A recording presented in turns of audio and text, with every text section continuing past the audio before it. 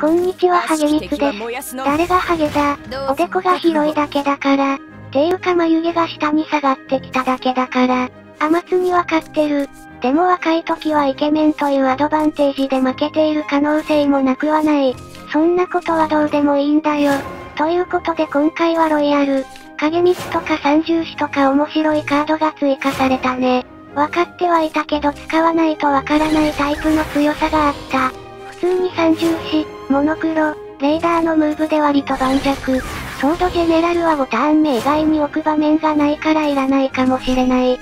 連携数は稼げるんだけどね。騎士王の移行がリーダー付与だったら最強だった。今回はゴールデンウォーリアーを不採用だけど、案外採用しても活躍するかもしれない。スペルサーチの能力で持ってこれるカードがパワカだからね。そうなればソードジェネラルも使えなくはないかも。問題があるとすれば環境に進化ネクロが多いこと。スケルトンレイダーの餌にしかならないソードジェネラルは悲しみでしかない。要するに環境に合ってないってこと。影ミスは強いんだけどね。3コスというよりもリーサルターンに全部置く感じが一番強いかなって思っちゃうね。まあ初期影ミスも最初は使いどころがブレてたし、今回の影ミツも今後化ける可能性は大いにあるかな感覚で進化と連携が分かってきたら強さは上がりそうだよね。言ってるがいなければだけどね。進化軸が多い今はラスワに期待するよりも連携達成をした後に置く方が無難。進化回数は普通に達成可能だし、オクトーからの火力で押し切れる。そこまで生きてればの話だけどね。回復には弱いし、火力デッキにも耐久できないからね。そのあたりを調整しつつ今後に活かしていきたい。まずは無難にテンプレっぽい形を遊んでる感じだからさ。その辺は多めに見てくれメンス。むしろ許してヒヤシンス。ここ突進付与が消えるの初めて知ったよ。場にいる限りだったんだね。突進を付与されたら永続だと思ってたわ。ロイヤル戦だったのに呆れちゃうね。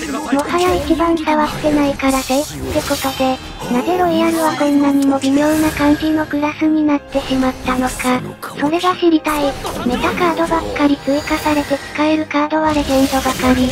今回追加されたシルバー以下のカードは大体おもちゃ。札束ロイヤルしか生き残れない。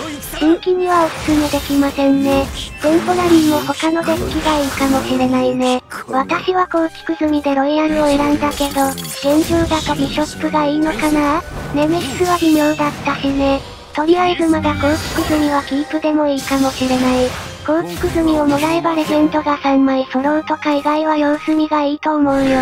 そしてオクトからの影ミスコンボ。エリカとかいればもっと火力出るね。そして何より音が気持ちいいんだわ。気持ちよさだけで言えば最強。ゼノアルベールでいいじゃんハキンク。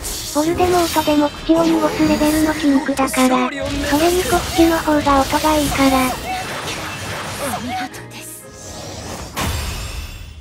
ビクトリーブレイダー最強。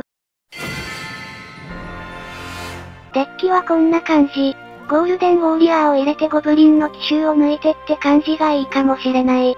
オクトーは1枚で十分。ルパンはわからないけど1枚はあっても良さそう。まあ現状の環境だとちょっと厳しいけど、弱くはないかなって感じです。というわけで動画は以上です。ご視聴ありがとうございました。